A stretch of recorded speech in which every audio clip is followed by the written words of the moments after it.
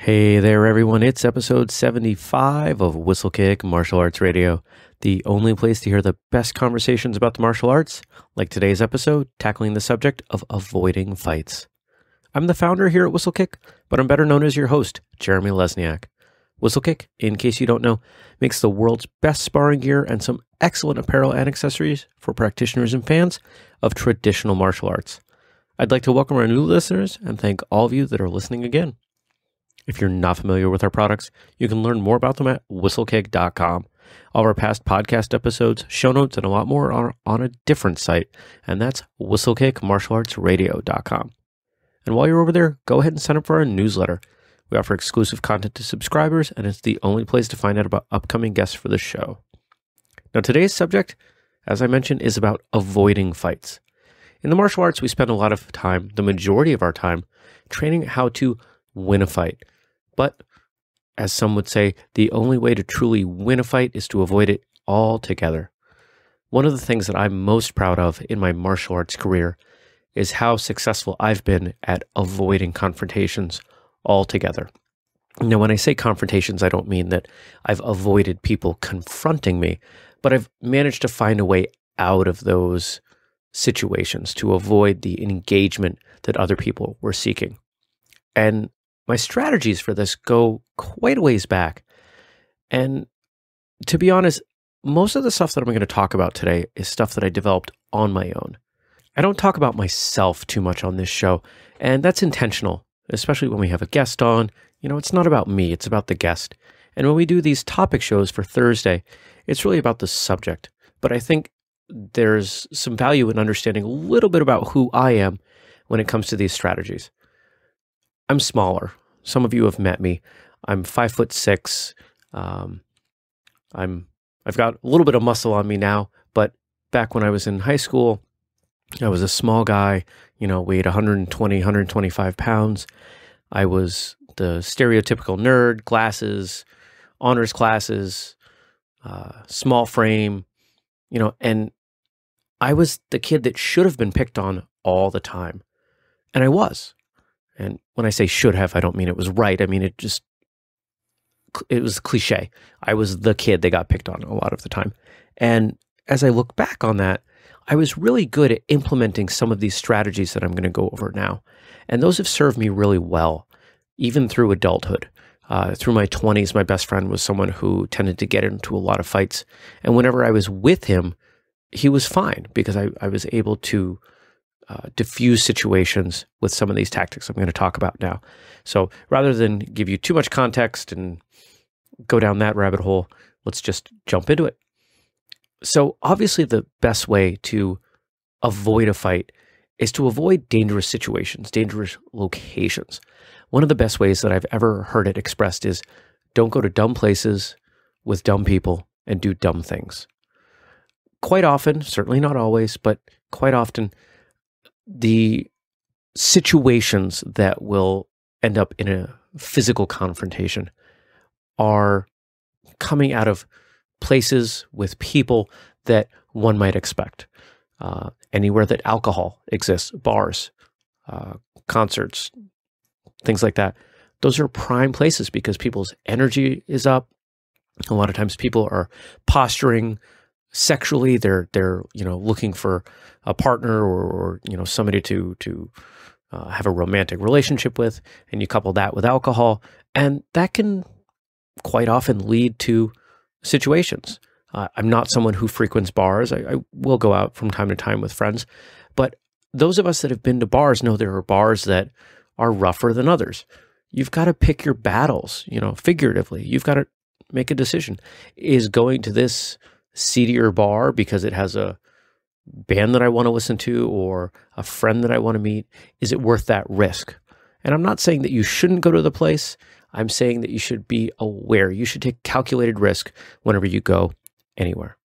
And if you do go somewhere that is risky or not, it's about awareness. We did a whole show on awareness and how to build that skill of, of being aware of what's going on around you. But if you go somewhere, be a little bit more cautious. Keep your back to the wall. Keep your eyes open to what's going on. if you're at a bar, don't get hammered. You know, just don't set yourself up for failure, really. Now, let's suppose that you've done all of those things, or, you know, there, there's something that just can't be avoided. Someone has confronted you, and hopefully, your first strategy is not to physically take them out. Most of us have the skill to do that. Hopefully, we all have the skill to do that, or we're, we're working towards the skill to do that. But as I said, today's show, it's not about that. You've already got that covered. I don't need to teach you how to do that. So, one of the best things you can do is to really just talk people down. If someone confronts me and they, you know, they're they're carrying on, I looked at them funny, whatever it is, the first thing that I'm going to do is just try to diffuse the situation. Hey, you know, I'm sorry, I didn't mean to. Take some humility. Really uh, knock yourself down a peg if you can, and just let them know, hey, you know, my bad. And quite often in these situations, people are looking for someone to rise up against them, to get defensive. So you totally take the wind out of their sails when they come at you like that. You know, it's the whole concept of yin yang. They come at you hard, you balance them out soft, right? Now, let's say that doesn't work. They're in your face, they're angry, they're aggressive, and you've tried to talk them down and that doesn't work. Well, walk away. Say, you know what? Let me get out of here. You have a good night. And quite often that'll work too. It's not worth getting into a fight, whether or not you're going to win, to save a little bit of pride. Pride is, is such a foolish um, emotion, a foolish sense, in my opinion, because it makes people do really dumb things quite often. So you walk away. What if they follow you? Or what if they block your path? What if escape isn't an option? Humor is a great one. Maybe you're not a funny person, but let's suppose you are. Or let's suppose that you you know a joke or worst case you can make fun of yourself, you know. Hey, you know, uh, sorry about that. You could offer telling someone a joke as, let's say, retribution. Hey, you know what? You're right. I was a jerk. I'm sorry. Let me make it up to you. Let me see if I can make you laugh. I think everybody, just in general in life, should have a joke or two at the ready, something quick, you know, a knock knock joke or whatever that you can whip out at a moment's notice. Uh, great icebreaker. And maybe you try throwing that out there, or maybe you're a little bit better off the cuff uh, with your sense of humor I tend to be in situations, not so much when I'm recording a podcast. I could tell you a knock knock joke, but you know, we're we're going to save that. Maybe I'll I'll save it for a really desperate time on the show, right? Now, humility, being self-deprecating, cutting yourself down, I think is probably one of the best strategies for you. You may reorder this list. I'm running down in a list that I tend to go through in my head, uh, first resort to last. So we're about halfway down the list. And I am completely willing to make myself look terrible to avoid a fight. You may not be willing to, and that's okay. So if someone's in my face, they won't let me leave. I've tried to talk myself out of it. I've tried to be funny and lighten the situation. None of that has worked. I'll just be honest, and this works because I'm a small guy. You know, where's the challenge? Look at me. I'm tiny. I'm a nerdy guy what does it prove for you to beat me up? You know, I, am I'm sorry. Just let me get out of here. You know, it, it's it's going to make you look bad to beat me up. I mean, really. And something like that, you know, it's not always going to work. But again, it might. We're working through this list. Now, once we get past that point, if I realize that, hey, this guy, this person, this group of people aren't letting me out of it, my mindset starts to shift. And I start to very slowly turn on that same fight reflex. You know, we fight or flight, right? So everything up until now has been flight. It's been very defensive, very um, almost submissive in a sense. But now we're starting to make that shift. And this next one, be crazy. Nobody wants to mess with a crazy person because there are no rules. we've all heard examples. Some of us maybe have seen or unfortunately been in an altercation with someone who others might say doesn't play by the rules. Um, you know, quite often when men fight, there's this unspoken rule of, you know, not kicking in the groin. I, have heard people say, you know, oh, well, it wasn't fair. He kicked him in the groin. There are no rules in a fight, right? And to go even beyond that, to portray yourself in a way that you aren't going to respect any rules. Maybe you develop a nervous tic. Maybe you start to shout, to do something that appears outside of the norm of what someone would expect someone to do in a situation where they know they're going to get into a fight. If you can escalate yourself in that way, if you can start to bring up your own energy and projecting it out there through the appearance of being nuts, that will often back people off because they don't know what to expect. When someone's coming after you, they're expecting a certain outcome. They're expecting they're going to win. Very, very rarely is someone going to pick a fight that they don't think they're going to win. They might not. We hope they don't.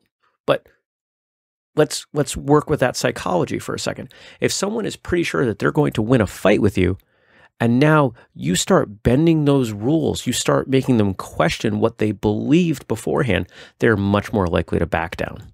So practice your crazy face, do it in the mirror, come up with a, a your own persona that you can pull out. And I would argue that practicing this is just as valuable as practicing punches and blocks. In fact, this might come in more handy. Now, the last strategy, and when I present this material, this is the one that always catches some flack. You've gone through this whole list, you've been crazy, and that's not enough. Well, there's another level of crazy, and it's called being gross. Now, I'm not going to get too detailed here, but let's pretend that you pick your nose and whether you end up with stuff on your fingers or you don't, you can act like you do.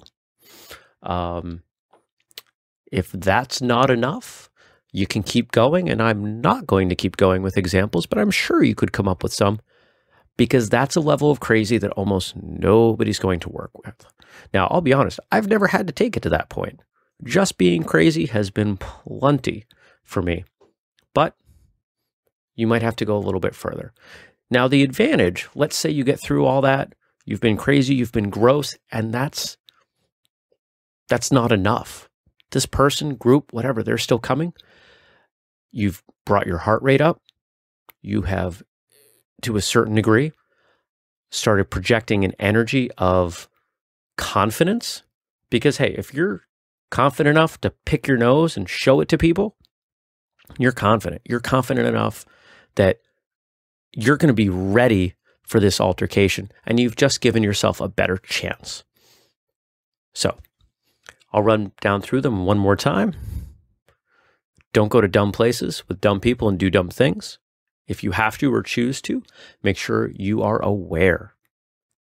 If you do end up in a situation that you can't avoid with that first method, try disarming it. Try having a conversation with the person. Try talking them down. People are people, and sometimes mistakes happen. If that doesn't work, get out of there. Walk away. Don't be too proud to run. If that doesn't work, use some humor. Tell a joke, whatever you got to do there. Be willing to be self deprecating. Cut yourself down. Make yourself less of a target. Make the reward for the altercation to the other party be less than they thought it was. If that doesn't work, you start to pump yourself up, get crazy, and if that's not enough, get gross. So that's my list. You might have your own, and if you do, I would love to hear about it.